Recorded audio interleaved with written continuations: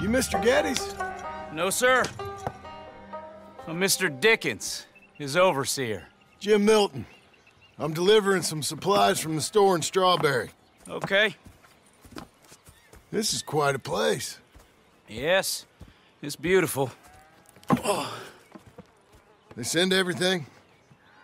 Yeah, I think so. So, partner, your boss, he looking for hands? Why? You looking for work? Yeah. My wife, we was in business with her family and turned sour. It's a long story. Yeah, I don't know. Married hands. It's a lot of trouble. I'm a good worker. My wife, Agatha, even our boy, Lancelot. We'll all work. Get the hell out of here. Now, that ain't very neighborly. And threatening us is neighborly?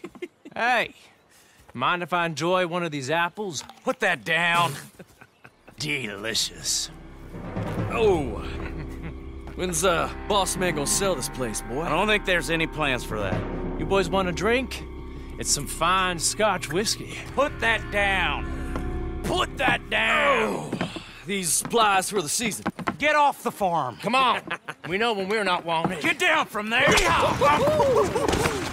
Bye, bud. Come back here! Take that horse if you need it. And don't get yourself hurt. Or hurt them for that matter.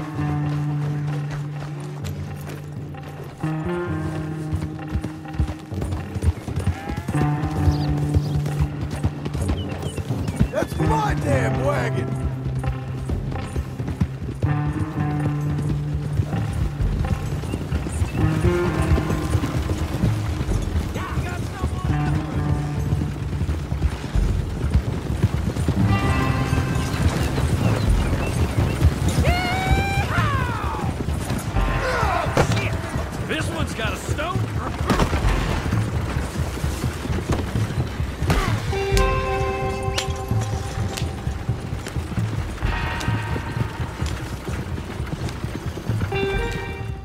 Milton, isn't it? Those boys are out of Laramie, work for Mr. Abel. Thank you. Don't mention it. Listen, I ain't looking for no charity or nothing, but I was serious. You got work? We'll work. I can do anything. We got... We got robbed ourselves a few days back. We ain't got married hands here. You're married. Work harder than any one of them. I'm real honest, and my wife, even though she's got fancy thoughts, she'll work. Seem kind of desperate. What trouble you in? No trouble, sir. Aside from her brother, he tricked us and robbed her of her inheritance. We're good people. We'll work. Even Lancelot. What does Mr. Geddes need with a boy?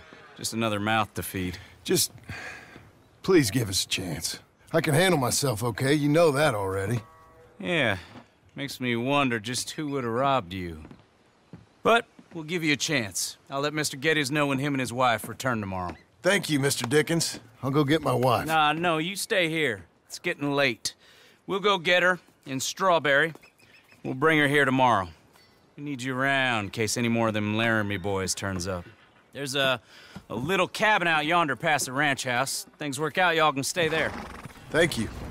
You'll not regret this. Yep. Go get yourself settled. We'll have work for you tomorrow when Mr. Geddes returns.